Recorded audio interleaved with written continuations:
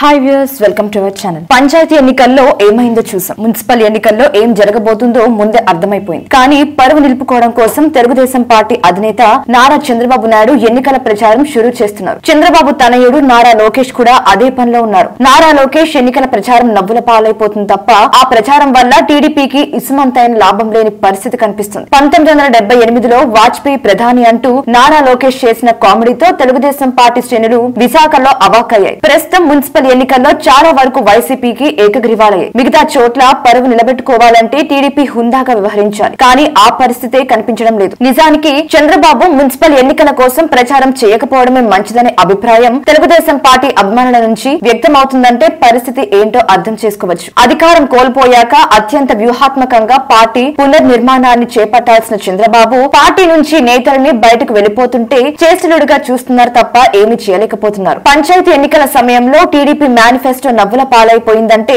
చంద్రబాబు రాజకీయ అనుభవం ఏ పార్టీదనేది చాలా మందికి అర్థమైంది. ఇవి చిన్న చిన్న విషయాలు కాదు చాలా పెద్ద పొరపాటు. పంచాయతీ ఎన్నికలు కావచ్చు మున్సిపల్ ఎన్నికలు కావచ్చు రాష్ట్రంలో ఎక్కడికక్కడ ఉన్న సమస్యల్ని అడ్రస్ చేయగలిగితే తెలుగుదేశం పార్టీ ఏ ఎన్నికల్లో అయినా పుంజుకుంటుంది. కానీ ప్రతిపక్షంగా తెలుగుదేశం పార్టీ తన బాధ్యతల్ని విస్మరిస్తుంది. ప్రజలతో కనెక్ట్ అవ్వడం అనే కాన్సెప్ట్ని చంద్రబాబు పట్టించుకోవడం లేదు. అలాంటప్పుడు ప్రచారం ఎందుకు దండగా? రేపొద్దున్న మున్సిపల్ ఎన్నికల్లో ఎదురవబోయే పరాభవం తెలిసి ప్రచారంలోకి దిగడం అంటే హాస్యాస్పదమే మరి. ఇక ఇదిలా ఉంటే నూరు గొడ్లను తిన్న రాబందు ఒక గాలివానికే గోవింద అన్నట్లు తమది నలభై ఏళ్ళ పార్టీ అని పునాదులు పటిష్టంగా ఉన్నాయని గెలిచినా ఓడినా ముప్పై ఐదు నుంచి నలభై శాతం వరకు తమకు ఓటు బ్యాంకు ఉన్నదని బీసీలంతా తమ వైపే ఉన్నారని భావిస్తూ ఇరవై రెండేళ్ళ పాటు తిరుగులేని అధికారాన్ని చెలాయించిన తెలుగుదేశం పార్టీ గత అసెంబ్లీ ఎన్నికల్లో జగన్మోహన్ రెడ్డి రూపంలో తాకిన ప్రళయ భీకర సునామీకి కకావికలై చిరునామా కూడా లేకుండా పోవడం ఆశ్చర్యమే. నిజానికి తెలుగుదేశం పార్టీకున్న బలం కన్నా పచ్చ మీడియా హైప్ చేసి చూపించే బలమే అధికం. వాపును బలంగా భ్రమించిన తెలుగుదేశం అసలు బలం ఏంటో పంచాయతీ ఎన్నికలు ప్రస్తుతం జరుగుతున్న పురపాలిక ఎన్నికల్లో బయటపడింది. తెలుగుదేశం పార్టీ ఆవిర్భవించినప్పటి నుంచి ఎవరో ఒకరి పొత్తుతోనే ఎన్నికల్లో పోటీ చేస్తుంది. చంద్రబాబు విషకౌగిట్లోకి తెలుగుదేశం చేరాక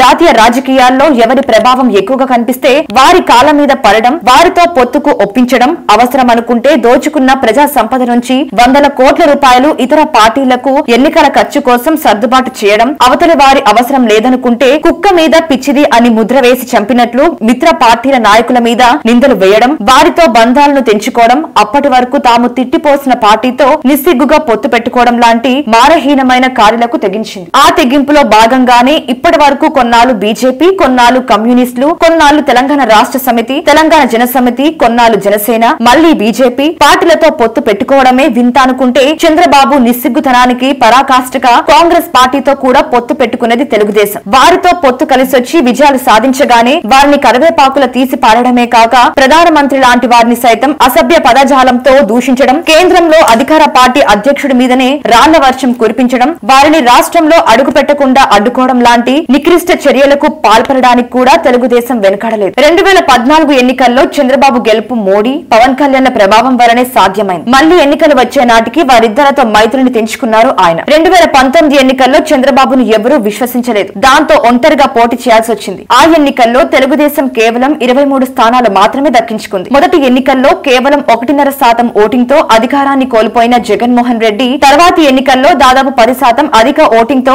అధికారాన్ని కైవసం చేసుకుని ఒంటరిగా పోటీ చేస్తే తెలుగుదేశం అసలు బలం ఏమిటో చాటి చెప్పారు. పంచాయతీ ఎన్నికల్లో కేవలం పదిహేను శాతం స్థానాలు మాత్రమే దక్కించుకుని పరువును నిలువుగా పోగొట్టుకున్న తెలుగుదేశం నిన్నటి మున్సిపల్ ఎన్నికల్లో పోటీ చేయడానికి అభ్యర్థులు కూడా దొరక్క తెల్లముఖం వేసింది. చంద్రబాబు సొంత జిల్లా చిత్తూరు మున్సిపాలిటీ కూడా వైసీపీ ఖాతాలో పడింది. పిడుగురాళ్ళ మాచర్ల లాంటి పల్నాడులోని బలమైన మున్సిపాలిటీలు కూడా ఏకపక్షంగా వైసీపీ గెలుచుకుంది. పుంగనూరు కూడా పోటీ లేకుండానే వైసీపీ విజేత అయింది డెబ్బై ఐదుకు గాను డజన్ మున్సిపాలిటీలు ఏకగ్రీవంగా వైసీపీ కైవసం చేసుకోవడంతో తెలుగుదేశం పార్టీ భూస్థాపితం కావడానికి సిద్ధంగా ఉందని చెప్పాలి. తెలుగుదేశం పార్టీ మళ్ళీ కోలుకునే ఆశలే లేవు. వచ్చే ఎన్నికల నాటికి అసలు ఆ పార్టీ ఉనికినే కోల్పోయిన మనం ఆశ్చర్యపోవాల్సిన పని లేదు. కారణం ఒక్క ముక్కలు చెప్పుకోవచ్చు. జగన్మోహన్ రెడ్డి ప్రజల్లో తిరుగులేని విశ్వసనీయతను సాధించారు. చంద్రబాబుకు అసలు విశ్వసనీయత లేదని మరోసారి రుజువైంది. దట్స్ ఆల్ టీడీపీ అధినేత చంద్రబాబుకు సొంత జిల్లాలో మరోసారి చుక్కెదరైంది. చిత్తూరు జిల్లాలో ఎన్నికలు ఏవైనా వైఎస్ఆర్ సిపికి తిరుగులేదని రుజువైంది. నలభై ఏళ్ళ రాజకీయ అనుభవం పద్నాలుగేళ్ళ ముఖ్యమంత్రి పదేళ్ళు ప్రతిపక్ష నేతగా చెప్పుకునే చంద్రబాబు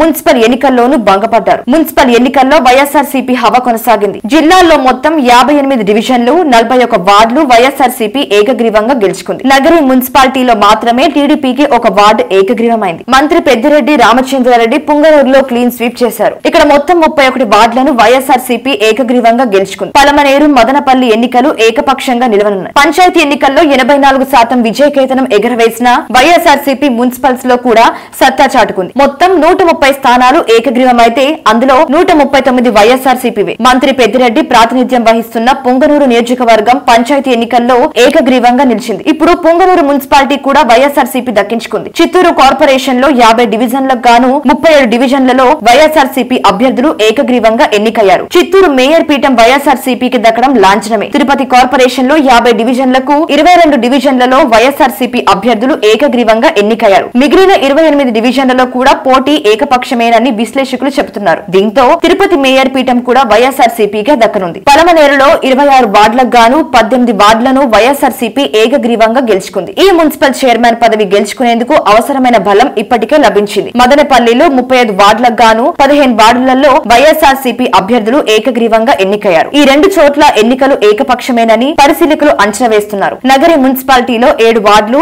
ఏకగ్రీవమయ్యాయి. వీటిలో ఆరు వార్డులను వైఎస్ఆర్ సిపి ఒక వార్డును టీడీపీ ఏకగ్రీవంగా గెలుచుకున్నాయి. పుత్తూరు మున్సిపాలిటీలో ఒక వార్డును వైఎస్ఆర్ సిపి ఏకగ్రీవంగా గెలుచుకుంది. మొత్తంగా పరిశీలిస్తే చిత్తూరు జిల్లాలో వైఎస్ఆర్ సిపికి తిరుగులేదని తెలుగుదేశం పార్టీ జవసత్వాలు కోల్పోయిందని నిరూపణ అయింది. ఈ వీడియో గనక మీకు నచ్చినట్లయితే లైక్ చేయండి షేర్ చేయండి సబ్స్క్రైబ్ చేయండి. మరిన్ని ఇంట్రెస్టింగ్ అప్డేట్స్ కోసం మా ఛానల్ని ఫాలో అవ్వండి.